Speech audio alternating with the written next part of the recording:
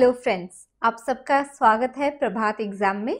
हमारे daily current affairs series में आज हम डिस्कस करेंगे सितंबर 30 के करंट अफेयर्स। तो चलिए शुरुआत करते हैं और यहाँ पर हम देखेंगे एक कोटेशन। कोटेशन ये कहती है कि हिस्ट्री विल जज us by the difference we make in the everyday lives of children हम अपने बच्चों की रोज़मर्रा की ज़िंदगी में क्या बदलाव ला पाते हैं? उन्हें क्या वैल्यूज़ सिखा रहे हैं हम?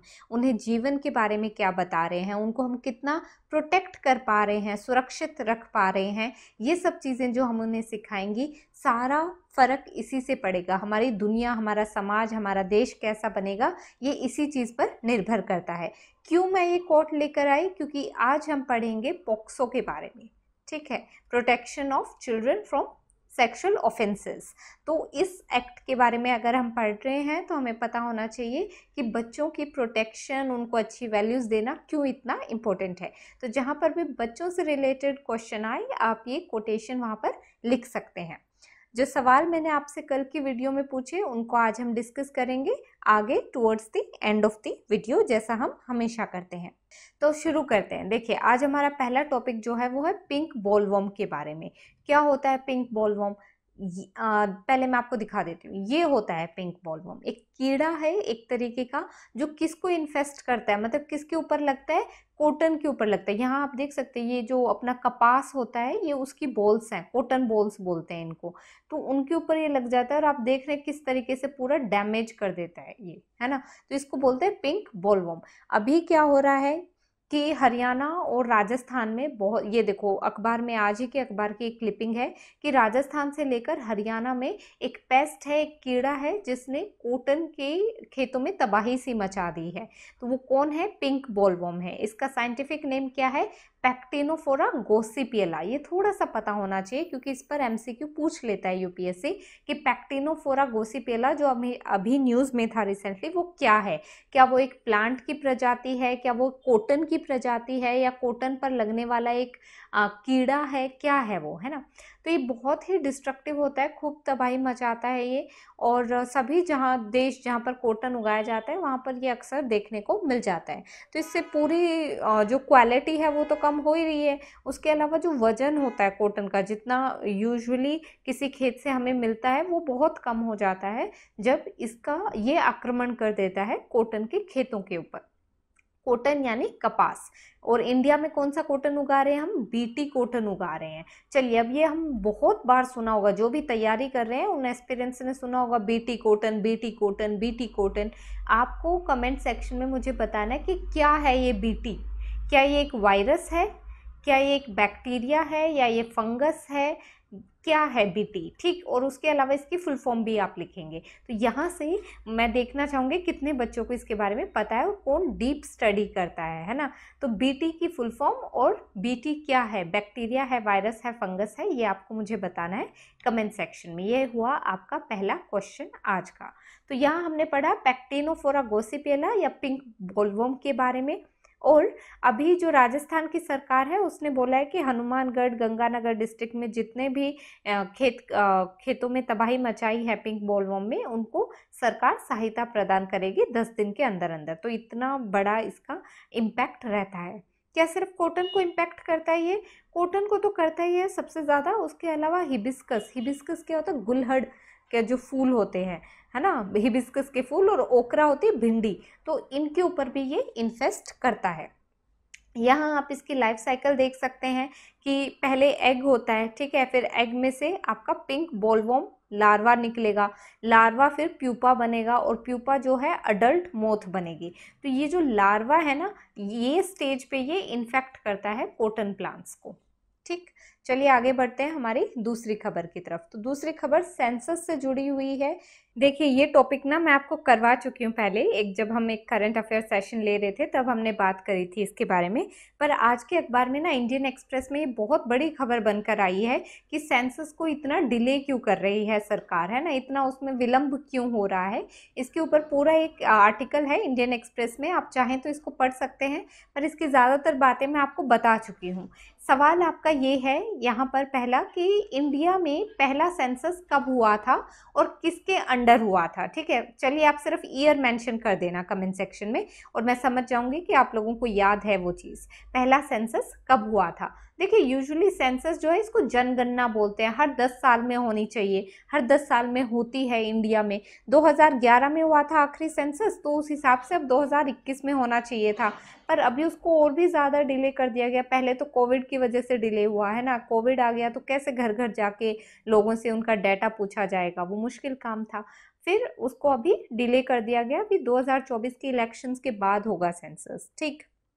दूसरी बात बोला जा रहा था कि इस बार पूरा डिजिटल सेंसस लिया जाएगा, पर क्योंकि ये थोड़ा सा इम्प्रैक्टिकल चीज़ है, इसलिए डिजिटल और पेपर दोनों तरीके से सेंसस कंडक्ट किया जाएगा।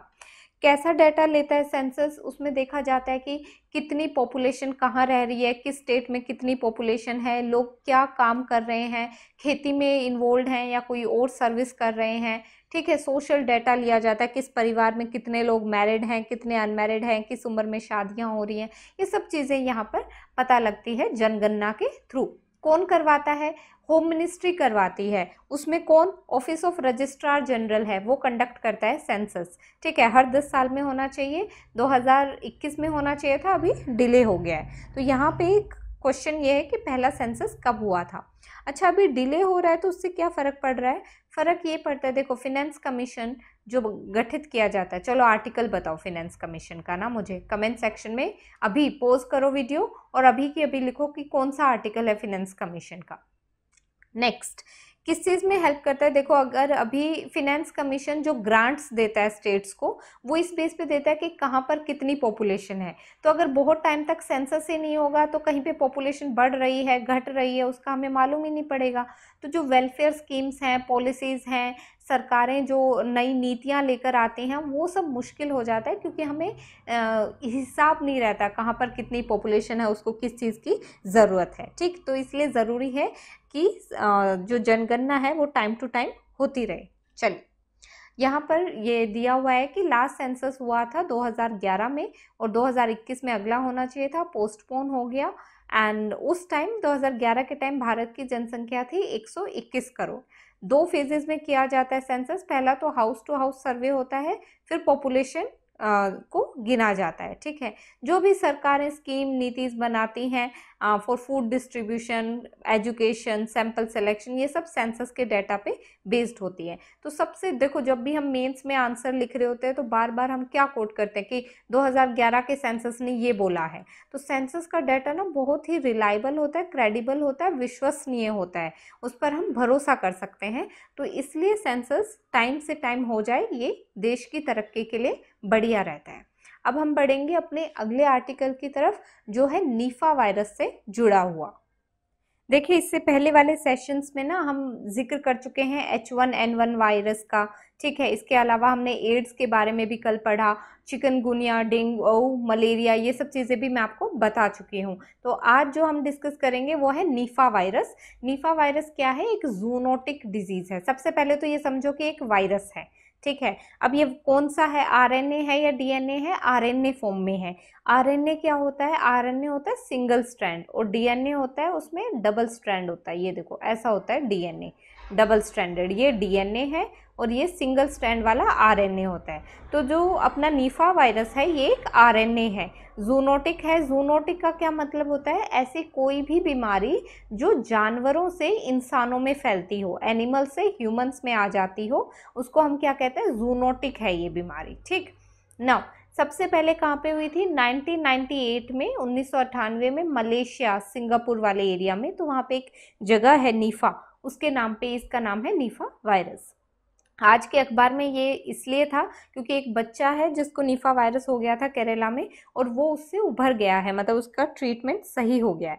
तो ये चीज़ खास क्यों है? क्योंकि कोई वैक्सीन नहीं है अभी तक हमारे पास निफा वायरस से लड़ने के लिए। कोई ऐसी मेडिसिन भी नहीं है कि ये दो और निफा वायरस से छुटकारा मिल जाएगा। ठीक है, एक बार हो जाता है तो ये जानलेवा बीमारी है निफा वायरस जो है पर इसका हम क्या कर सकते हैं? जो भी सिम्टम नज़र आए जैसे फीवर है तो फीवर की दवाई दे दो ठीक है? और कोई दिक्कत हो रही तो उसकी दवाई दे दो। इसको बोलते हैं सपोर्टिव केयर ठीक है? सपोर्टिव केयर हम दे सकते हैं पर इसकी कोई वैक्सीन नहीं इन्वेंट हुई अब तक और आ, मुश्किल है काफ़ी फैटल है। फैटल मतलब डेथ रेट बहुत हाई होता है निफा वायरस में। तो केरला में ये फैला हुआ है फ़िलहाल और फ्रूट बैट जो होते हैं ना फ्लाइंग फोक्स वो इसको कोज करते हैं। मैं आगे आपको पिक्चर दिखाऊँगी उसकी फ्रूट बैट की। एक चीज़ और मुझे बताना यहाँ से, क्योंकि हम ये डिस्कस कर चुके हैं तो जो H one N one virus है, वो किससे जुड़ा हुआ है? मैं आपको चार ऑप्शन दे देती हूँ यहाँ पे। पहला ऑप्शन है एड्स ठीक? दूसरा है बर्ड फ्लू बर्ड फ्लू तीसरा है सी है डेंगू, और डी है स्वाइन फ्लू स्वाइन मतलब पिग ठीक है? तो अब आपको मुझे कमेंट सेक्शन में इसका सही जवाब देना अभी वीडियो पोस्ट करो और इसका आंसर लिखो, ठीक है? Zika sorry H one N one इसके अलावा आप मुझे बताएँगे कि जो जीका वायरस है, ये किससे कोज होता है? कौन कोज करता है जीका वायरस और क्या इसके लिए कोई वैक्सीन बनी हुई है या नहीं? तो देखो, कितना आपका कॉम्प्रिहेंसिवली कवर हो जाता है पूरा टॉपिक जो टॉपिक आज अखबार में आया, हमने उसको भी डिस्कस किया, अखबार में जो खबर बनी उसको भी देखा, उसके पीछे क्या खबर है वो भी जाना, सारी उसकी साइंस पढ़ी और उसके अलावा उससे जुड़े हुए दो तीन और डिजीजेस को भी डिस्कस किया. आप जो भी इसके आंसर्स लिखता रहेगा कमेंट सेक्शन में, यकीन मानिए उसकी एक बहुत ही दुरुस्त तैयारी हो रही है। चलिए, आगे बढ़ते हैं तो मैं आपको इसके पिक्चर्स दिखाती हूँ। ये है फ्लाइंग बैट ठीक है? चमगादड़ बोलते हैं इनको शायद। तो ये बैट होते हैं, इनके अंदर वायरस आ जाता है निफा वायरस और फिर इनसे इंसानों में भी फैलता है। तो इनसे दूरी बना के रखनी चाहिए ऐसे समय में। जूनोटिक है मतलब एनिमल से ह्यूमंस में फैलता है और फिर ह्यूमन से ह्यूमन में भी फैलता जाता है। कहाँ पे ज़्यादा होता है? इन्फेक्टेड फ्रूट बैट्स कोई बैट है जिसके अंदर ये इन्फेक्शन होगी इस वायरस की तो वो इसका काफ़ी बड़ा सोर्स हो जाता है फिर। क्या है? फीवर होगा, सिर दर्द होगा, वोमिटिंग होगी, मसल में पेन होगा, खांसी होगी, गला खराब होगा, सांस लेने में दिक्कत। ये सब इसके सिम्टम्स हैं। फिर डायग्नोसिस कैसे? R T P C R test करते हैं। और ट्रीटमेंट क्या है? सपोर्टिव केयर ही दे सकते हो। कोई वैक्सीन तो है नहीं और कोई दवाइयाँ भी नहीं है स्पेसिफिकली नीफा वायरस की। ओके तो जो क्लोज कॉन्टैक्ट है एनिमल्स के साथ या ऐसे जैसे कई बार फ्रूट्स में। अभी क्या है? बैट जो है, उसके अंदर वो वायरस आ गया और वो कोई फ्रूट खा रहा है और उस फ्रूट को फिर बाद में ह्यूमंस ने खा लिया तो ह्यूमंस में भी वो चीज़ आ जाएगी ना तो इस तरीके से अपना बचाव करना होता है नीफा वायरस से। यहाँ पर हमने देखा इस पूरे आर्टिकल को। आगे बढ़ते हैं नेक्स्ट टॉपिक है पोक्सो एक्ट ये बहुत इंपॉर्टेंट है। देखिए देश भर में जितने भी बच्चे हैं, उनके खिलाफ बहुत सारे क्राइम्स होते हैं। तो जो सेक्सुअल असोल्ट या यौन संबंध बनाए जाते हैं बच्चों के साथ तो वो अपराध है है ना? इलीगल है। तो इन चीज़ों से बच्चों को बचाने के लिए सेक्सुअल असोल्ट से सेक्सुअल हरासमेंट से पोर्नोग्राफी जो उनकी वीडियोस बनाई जाती हैं गलत कामों में इस्तेमाल के लिए, उन सबसे बच्चों को बचाने के लिए ये एक्ट लाया गया 2012 में। और इंडिया ने साइन किया हुआ है यूनाइटेड नेशंस की कन्वेंशन। चलो, यहाँ पे मुझे यूनाइटेड नेशंस का ईयर ऑफ़ फॉर्मेशन बताओ, कब बना था यूनाइटेड नेशन? तो यूनाइटेड नेशंस की एक कन्वेंशन है उन राइट्स ऑफ़ चाइल्ड के बच्चों के अधिकार क्या होने चाहिए? इंडिया ने उसको साइन किया हुआ है रेटिफाई किया हुआ है तो उसके संदर्भ में फिर इंडिया ने 2012 में अपना ये एक्ट भी बनाया prevention protection of children from sexual assault ठीक है? ये अपना एक्ट है, और अब आप मुझे ये बताएँगे कि जो कॉन्स्टिट्यूशन है क्योंकि यहाँ पर क्या लिखा हुआ है? लो कमीशन का ज़िक्र है कि लो कमीशन की रिपोर्ट आई है।